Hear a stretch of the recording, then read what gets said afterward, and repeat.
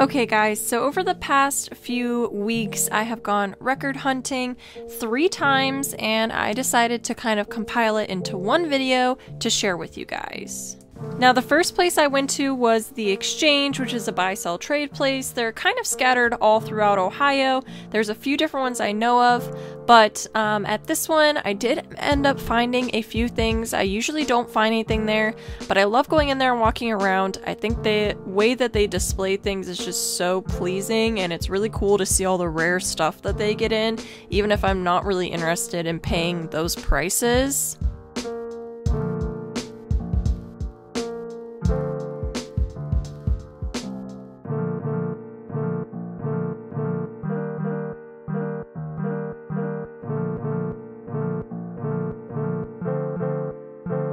Then I went to a local record store that a coworker actually told me about and recommended to me when I was buying a bunch of vinyl at work.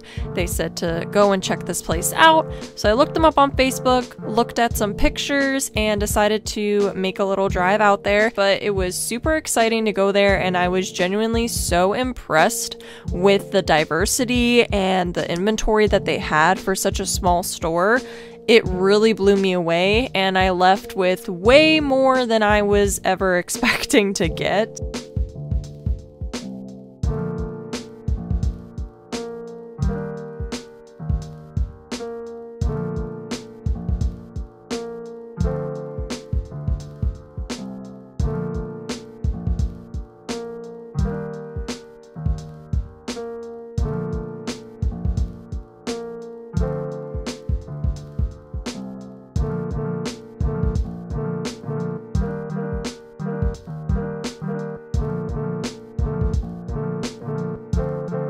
Lastly, I went to a Target that had some clearance vinyl in the past, and I decided to go back and see if they had anything left, and they had a few.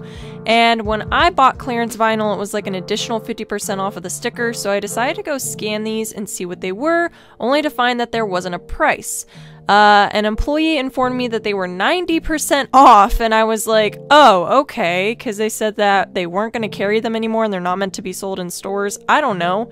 But uh, I told the lady at the register and she just went ahead and did it. Alright guys, so I hope that you enjoyed this kind of compilation of record hunting over a few different trips and all the massive scores that I got. Let's get into what I ended up bringing home. Let's start off with what I ended up getting from the exchange. Now, you guys may have some exchange stores near you.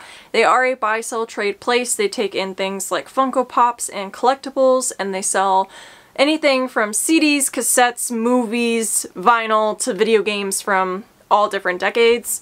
Uh, but I only ended up picking two records while I was there, and I did trade in a bunch of stuff, so I ended up picking these up, as well as getting some cash to take home. The first record we have here is Weezer, and this is OK Human, the limited edition splatter variant, which is why I decided to pick this up. This was a trade-in, I believe, because it was already open, but I got it for $15. What really sold me on this edition was the fact that it came splatter. So let's take a look at this thing. Really pretty picture. Oh my gosh. So this is clear vinyl with a splatter uh, it is a little like one-sided, you know, but it is the primary colors and it is gorgeous. I really wanted to pick this one up because a variant that I am looking for that is also rainbow splatter is the too Rare to Live, Too Young to Die by Panic at the Disco. I've always, always, always, always, always wanted the rainbow splatter of that and I never got it and I feel like it's going to be impossible to get now with their recent announcements so I'm probably never going to get that one so I'm happy I got this one. And then I was super shocked to find this. This is the Midsummer original score. Something that they do with their new vinyl is they put on the exchange stickers up here with the price, which this was $20, not bad and they put a record sleeve on it but they also fold it over and tape it so like you can't open it or look at it. So I don't know which pressing this is. I do scan everything on Discogs to kind of get a rough area for pricing but Discogs pricing could be pretty wrong. Um, and also just to see what variants are out there for records that I may be interested in. So the standard vinyl is averaging at $40, last sold in December. But let me make sure. There's a pink splatter edition, which I don't think that this one is. A limited edition green, which is last sold for $111. But even if it is the standard black, $20 is half the price of what it's selling for right now. I've never seen this anywhere. I didn't even know that this existed, so I'm super happy to have this. And I think that this would be absolutely chilling to spin while cleaning. Let's see which one we got. Leave your comments down below and guess which one you think this is. But again, I'm happy with any of them. Green would be pretty sick though.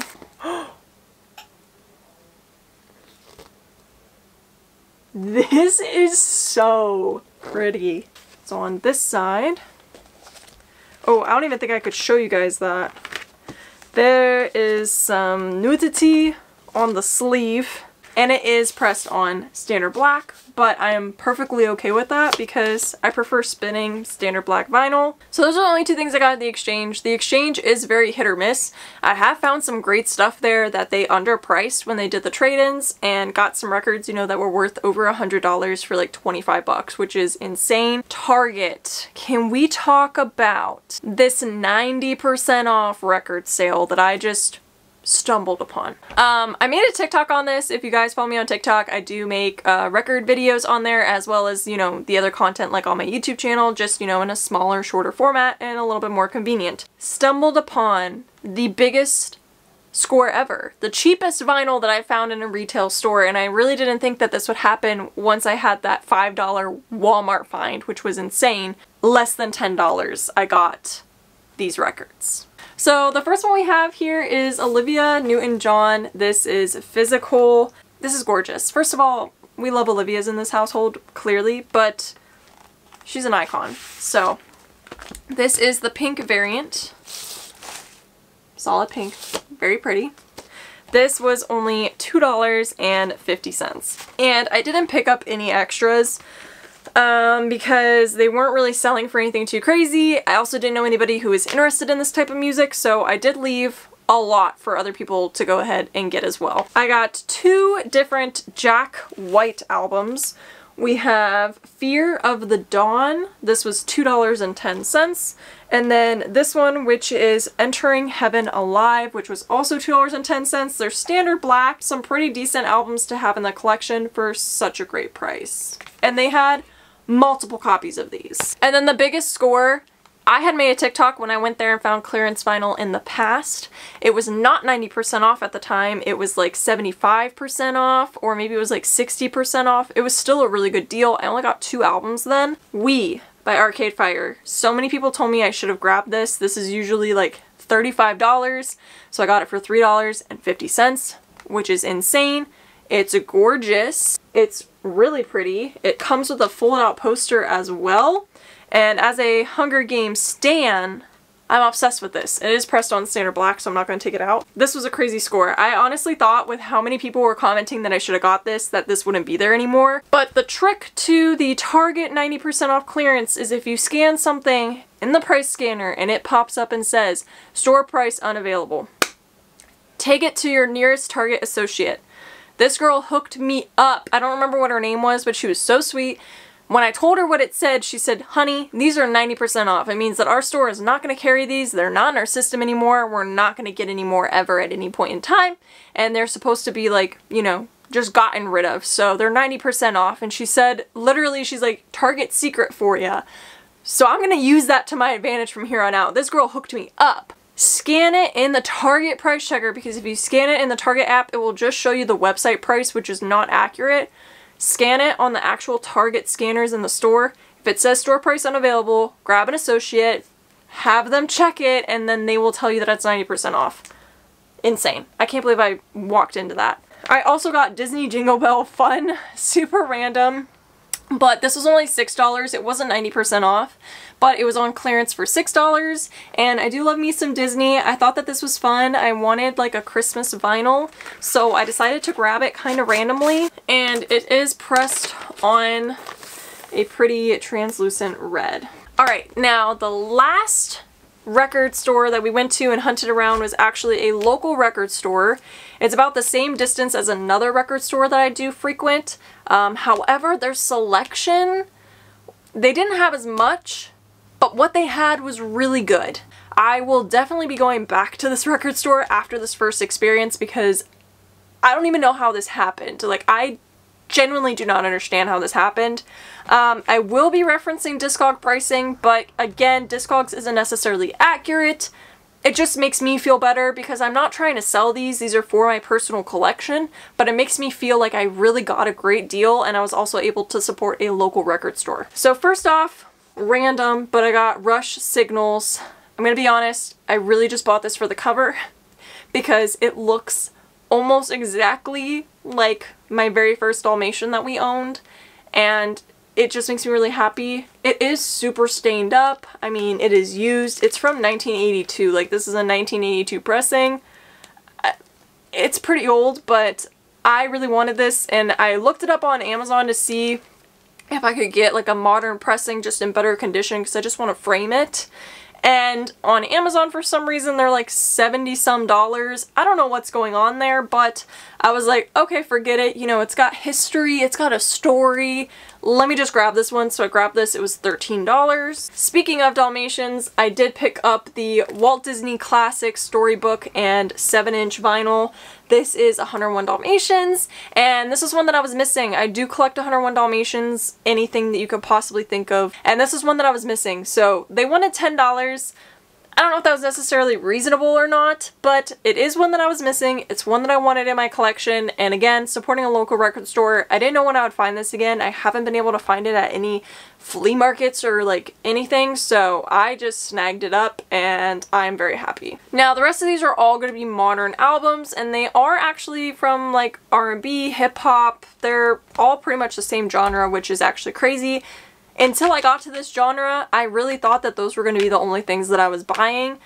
Holy smokes, if I knew what I was walking into, mm-mm-mm, honey, crazy scores here. I'm so happy. The first album we have here is Control by SZA. Super excited about this one because I've been listening to her new album. I'm absolutely obsessed with it. I love her TikTok sound. I love her SNL skit.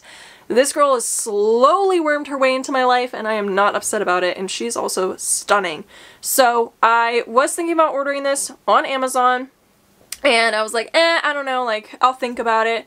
And I went to the store only to find this for $25, keep in mind.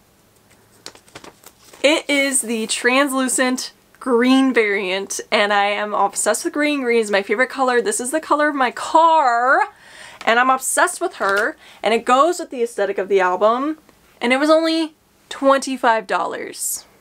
Next one we have here is Ski Mask, the Slump Gods debut album. This was $25. Now, I had never seen this on vinyl. I didn't even know that this existed on vinyl, but when I saw it, I was like, okay, I kind of have to get this, right? I have so many memories of driving to Cleveland in the late hours of the night with my friend and she would be blaring songs from this album, which is not necessarily my instant taste when I think about like hip hop and R&B and stuff, but I have so many fond memories with this and it does have Juice WRLD on it that I decided it was worth it for the memories and when I saw how much this was on Discogs, I was honestly shocked. I don't know where this came out or like where you could buy this, if this was only on his merch store or something, or like on tour. I don't really know. I decided to pick it up. I have not opened it, so let's open it, but I'm pretty sure it's standard black. I don't think that there's like any variants or anything of this, so there is a little insert and it is pressed on standard black. Next up was another record that I was really looking for and I'm so happy to have. It is Imperial by Denzel Curry, one of the greatest artists, released a fantastic album last year from front to back amazing. I was on the lookout for this, but I kept finding bootlegs, like pixelated covers. I knew they were bootlegs. I knew they weren't authentic from other record stores that I had been visiting, so I was waiting, and I finally found it in person, and it looks pretty clean to me. I did scan it on Discogs, and it popped up, so I'm going to assume that it's legitimate, and it was only $25. But this is a fantastic album. I probably listen to one or two songs off of this album every single time I get in my car. And this is also pressed on standard black and it came with a super cool insert. This looks crazy. But this was one that I was on the lookout for and I'm really really happy that I was able to get it at such a great price and bring it home the same day. Now the last thing that I found which I also did not expect to find was Vince Staples' Big Fish Theory on picture disc. Now, I'm not necessarily the hugest fan of picture discs. I think that the quality is not always there with these. I think these are great for aesthetics, for looks, for framing, but not necessarily for spinning and enjoying. Um, I always hate that they come in these plastic, clear plastic I cannot wait for them all to transfer over to like the cardboard with this plastic in the middle just to give a little bit more sturdiness to these. Super excited to add this to the collection. I only have his Summer 06 album. I am looking for his self-titled, but I missed out on the merch store edition, so I'm hoping I can find that secondhand very, very soon. I will take the picture disc version of this album. I don't think this is pressed anymore. I'm not sure what the standard goes for, but this was $38 for this double LP picture disc. I might play it once, but I think I'm just gonna kind of leave it as is. This is such an iconic cover, and then there's other beautiful artwork on the other discs, but it is stunning. And even though it's in this clear plastic, it's in really good condition. And I'm so happy that I found this. And I just get to add it to the collection because I think it's wild. if you guys saw anything throughout this whole video that you would have picked up, let me know what you would have grabbed in the comments down below if there were any crazy deals that I missed out on. Until then, I'll be back with another record video probably in a little bit, but uh, yeah, I love you guys. I'll see you again very, very soon. Peace out, Girl Scouts.